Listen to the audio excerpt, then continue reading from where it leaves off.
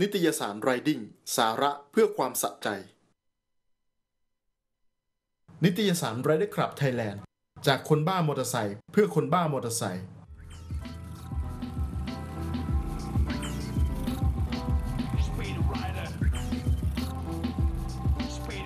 ครับผมขอต้อนรับท่านผู้ชมครับกลับเข้าสู่รายการ Speed Rider ในช่วงสุดท้ายนะฮะแน่นอนครับเรื่องราวต่างๆ มากมายนะครับที่จะมาพูดคุยกันทั้งในวงการรถจักรยานยนต์รวมถึงการอัปเดตข่าวสารในวงการรถสปอร์ตนะครับต่อก่อนอื่นที่จะมาพูดคุยกันนะครับก็ต้องขอขอบคุณผู้สนับสนุนใจดีของเรา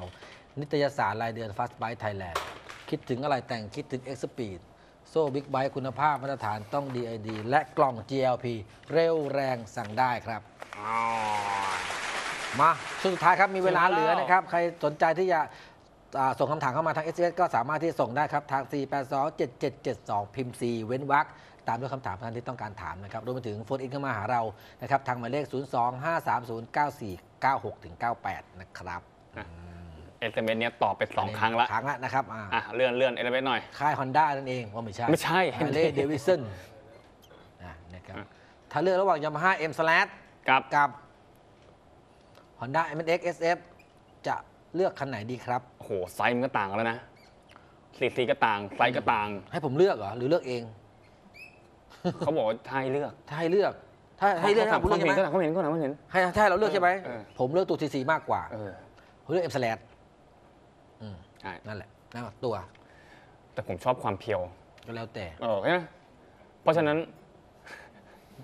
อะ อึ้งเลยเออต่อสิอึ้งต้องบอกว่าเพราะฉะนั้นคือแบบต้องต้องเลือกดูว่าถ้าอย่าง M slash มันได้เรื่องสีสีเออใช่ป่ะแล้วก็ออปชั่นมาครบเออไม่ว่าจะเป็นพวกอัพไซด์ดาวยังไงก็มี แล้วก็มีใช่ เออ แล้วก็อัพไซด์ดาวแต่ว่ามันไซส์เล็กกว่าไง ไซส์เล็กกว่า ในเรื่องของความคล่องตัวอะไรอย่างเงี้ยแน่นอนว่า M X มันอืม มันมันเชื่องมือกว่าอืมแต่พี่ตู่ขับเคสเด็กก็คงไม่ได้หรอกใช่ ดูทรงตัวดูตัวเดี๋ยวจะกลายเป็นเหมือนกับจิ้งจกเออขี่จักรยานซะอย่งถ้าให้ผมเลือกนะจะไม่ได้ถ้าไม่ได้แบทเทิลกันนะผมเลือกอะผมเลือกเอ็มสแลดอยู่แล้วแหละ นะครับเพราะว่าดูแล้วรถมันมันดูมันใหญ่กว่า เออมันดูแล้วมันมันมันคล้ายๆกับบิ๊กไบค์ที่แล้วเรามันก็มองแน่นกว่าด้วยอ่า เอ็มเล็กมันอาจจะเล็กไปนะครับจริงๆแต่ว่านะ มันก็คล่องตัวในเรื่องของการพลิกเลี้ยวซอกแซกใช่ตามซอยตามซอยหรือว่าตามรถติดต่างๆนะฮะจริงๆแล้วนะ M slash ถ้าเผื่อว่าเขาจัดแข่งเหมือนกับ M X นะ น่าจะสนุกนะอ๋อเป็นวันเมกเลสหรืเอออว่าเป็นมันไม่เล็กนะกิจกรรน่าจะมีนะ แต่ว่ายามาฮ่าเขาไม่ไปมองในเรื่องของยามาฮ่าชาเลนจ์นี่เนาะใช่พวก R15 R3 อะไรอย่างงี้ใช่ป่ะครับ เออก็ ผ่านไปนี่ต้องมองตามกล้องด้วยใช่ไหมเนี่ยไหนไหนไหนอะคุณคุณเปรมอะสวัสดีคุณเปรมเขาบอกว่าเปรม Burgman 400 จะมีโอกาสเข้ามาเร็วๆนี้ไหมครับ Burgman โอ้โห ตอนนี้ 200 ก็ยังการตลาดก็ยังตึงๆอยู่เลยครับพี่ครับนะฮะทุกวันนี้ Burgman 200 ก็ยังลูกผีลูกคนอยู่เลยอะจะเอา400 เข้ามาเหรอ ไม่แน่นะเขาอาจจะรอดูว่าตัว X Max กับตัววอร์เอ่อ Forza 300 ที่จะเปิดตัว โฉมใหม่เนี่ยเป็นยังไง ถ้าตลาดมันเดิน เขาอาจจะเอาตัว Burgman 400เข้ามาก็ได้นะครับเฮ้ยแต่อย่าลืมนะก๊อฟทำไม นี่ในรอบ4-5ปีเลยนะที่ซูซูกิไม่เชิญสื่อชุดใหญ่ไป test นะอะเหมือนกับก็มีในเขาว่าก็ถึงบอกไงว่าเขาไม่เชิญสื่ออ่า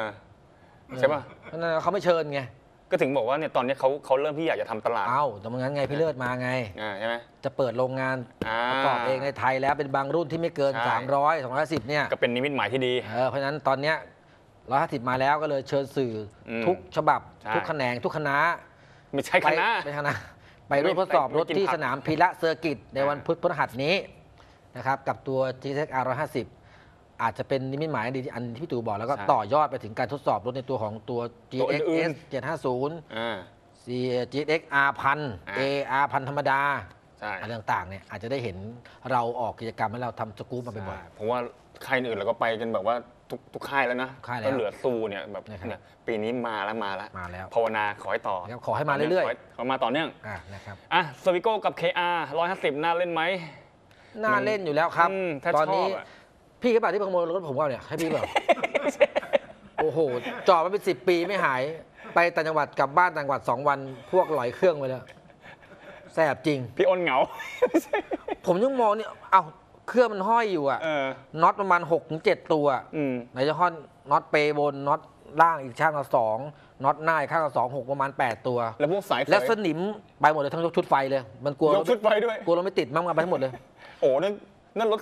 กู้บ้านโป่งน่ะ เป็นสิบสิบปีน็อตสนิมขึ้นไม่ตัวเองเห็นยังไม่อยากจะไขเลย ไปกลับบ้านสองวันยกไปทั้งเครื่อง ชุดโฟชุดไฟไปหมดเลย อาจจะเป็นแฟนคลับกอล์ฟก็ได้นะ ที่แบบว่าเออรู้ว่ากอล์ฟแบบว่าอยู่แฟลตตรงนี้คนใช่ไหมามขอแล้วก็คนมาขอซื้อผมเจ็ดพันเออพร้อมเล่ม ผมบอกไม่ขาย อ่าเป็นไงล่ะเรียบร้อยเหลือแต่เล่มไม่มีรถแล้ว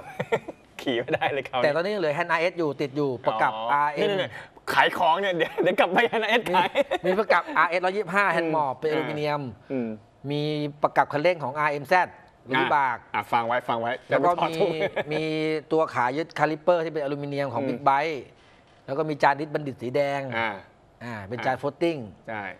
คือยังไงให้กลับเอาให้หมด เออเอาให้หมด บอกอย่างเงี้ยให้เอาไปด้วย หรือยกรถไปเลยก็ได้เกะกะตอนเนี้ยปโถทำอะไรไม่ได้แล้วทำไมไม่ยกไปเลยวะ แสบจริงอะมาดูสองตัวนี้ดีกว่า เออ จริง ๆ แล้วรถมันน่าเล่นทั้งคู่ อืม ฐานเครื่องยนต์เหมือนกัน ใช่ จะมีในเรื่องของรูปทรงเท่านั้นที่เราจะชอบแบบไหน ชอบแบบ sport touring หรือชอบแบบสปอร์ตที่เหมือนรถบิ๊กไบค์อืม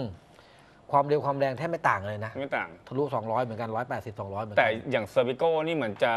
ระบบไฟจะไม่เหมือนกันนะ แล้วก็มันจะตัดอยู่ที่ 180เพราะเท่าเราที่เคก็ยต้องลไปองปลดกล่องอะใช่ต้องแต่ว่าอย่างใช้กล่องอย่าง KR เนี่ยมันมาแบบเป็น AC เกือบจะเต็มระบบแล้วยิงเต็ม ยิงเต็ม ยิงเต็มแล้วแบบว่า KR เดิมๆอะ200 ขึ้น แต่ Serpico บิดยังไงก็ไม่เกิน108ถ้าเป็น Serpico น้ำหนักด้วย เออ น้ำหนักมันหนักกว่าอืมเคยลองทั้งสองตัวแหละจำได้ จริงๆ สวยทั้งสองตัวครับอืมสำหรับทั้ง KR ทั้ง Cervico ทั้ง Victor เลยทั้งไป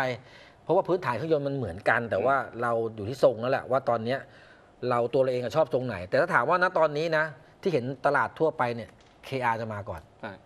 นะครับเพราะว่าในเรื่องของความเพียวความเล็ก แล้วก็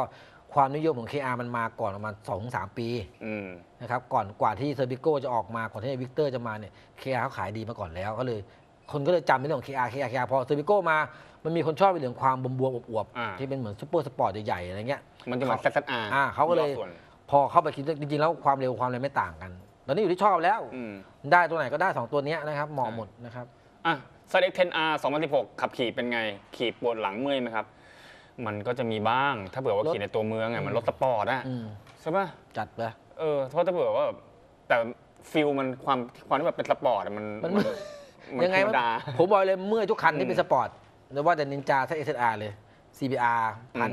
RR ก็เป็น ใช่ S พันเดบ R ก็เป็น Suzuki GSX-R ก็เป็นดูคติก็เป็นเพราะมันเป็นรถสายสปอร์ต สายหมอบ เพราะฉะนั้นถ้านั่งมันต้องหมอบอยู่แล้ว อันนี้แต่ไม่หมใช่อบปี 2016 รูปที่ขึ้น ท้ายไม่ใช่ แต่ไม่ใช่ถ้า ทำงานท้ายเลย แต่ถ้าหมอบยาวๆเนี่ย มันจะค่อนข้างที่จะสบายเพราะว่าหมอบอ่ยาวรูล้มนะ เออ มันถือว่าขึ้นได้ลงได้ขี่ทางยาวๆเนี่ยขึ้นได้ลงได้ แต่พอขี่ในเมืองเนี่ย รถติดๆเนี่ยไปทั้งการควบคุมต้องก้มตัวไปคุมรถ ก้มตัวไปคุมรถ มันก็จะมีอาการปวดเมื่อยทางด้านหลังทางหัวไหล่ทางด้านประมาณต่างๆ เพราะฉะนั้นนะอะจะจะบอกให้เปลี่ยนรูปเออไม่เป็นไรเออเพราะฉะนั้นนะครับมันเปลี่ยนเป็น super sport ยังไงมัน superbike พวกมันรถก็นี้เมื่อยเมื่อยหมดเลยครับใช่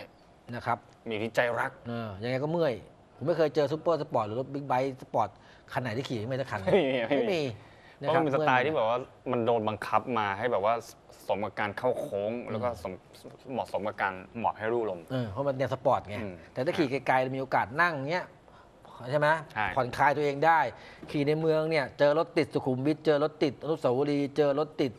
โอ้โหต้องโอ้ยนี่ก้มพลิกก้มพลิกงี้มันมันเอาเอาปวด แค่เรียบด่วนก็เมื่อยแล้วฮะ อืม ไม่ต้องไปถึงเสาลี ไม่ใช่ นะครับใช่ไหมยังไงยังไงก็เมื่อยแต่ว่าจะอืมจะเมื่อยน้อยเมื่อยมากก็ก็อยู่ที่สรีระแต่ละคนด้วยความสูงความต่ำ อาจจะไม่เท่ากัน คนครับ ตัวเตี้ยๆอาจจะไม่ก้มมากก็จะชอบ คนสูงๆนี่ก้มมากๆก็อาจจะเมื่อย อะไรอย่างนี้ก็แล้วแต่ความชอบ แต่ถามว่าเมื่อยไหมเมื่อยทุกคันแหละครับใช่นะนะฮะ